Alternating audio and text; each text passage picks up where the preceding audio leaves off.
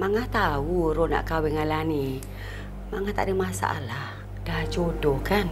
Siapa kita nak melawan? Kalau Mak Ngah tak cakap, tak ada pula pada Rol. Tapi kalau Mak Ngah cakap nanti orang kata mulut Mak Ngah ni jahat. Niat Mak Ngah baik. Allah tahu. Mak Ngah tak suka orang pelekeh Karol. Sebab Karol hilang ingatan, orang nak main Karol.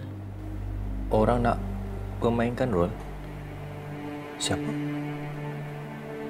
Kalau rol tak ingat pun, rol tak bodoh. Nak bagi orang pelekehkan rol. Sebab tu Mak Ngah nak jumpa Rol. Mak Ngah nak bagi tahu perkara yang sebenar. Mak Ngah tak suka cara Lani lepaskan diri dia.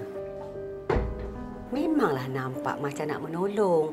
Tapi sebenarnya nak mengenakan orang.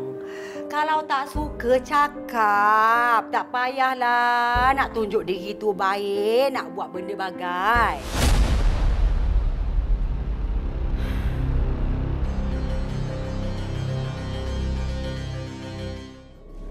Manga. Manga jangan pandai-pandai buat, buat cerita boleh tak? Apa yang Manga cakap ni? Aku tak buat cerita. Aku dengar kau cakap dengan Salwa. Engkau terpaksa kahwin dengan Zarul sebab engkau kesian kakak mak dia. Aku sebagai orang tu memang tak setuju dengan perangai engkau ni. Sebab itulah aku panggil Rol datang. Aku nak bagi tahu dengan dia siapa engkau yang sebenar. Betul ke apa Mak cakap ni lah ni? Abang, Lani tak ada niat nak permainkan abang. Lani ikhlas nak kahwin dengan abang. Lah, ikhlas apanya? Kau tidak takkan kau buat syarat dekat Rol. Dia nak bawa Mak Ngah balik kampung pun sebab dia nak berjauhan daripada Rol. Dia tak suka dekat Rol. Ha? Mana ada isteri yang nak berjauh dengan suami? Mereka kalau isteri tu tak suka dengan suami tu. Ha?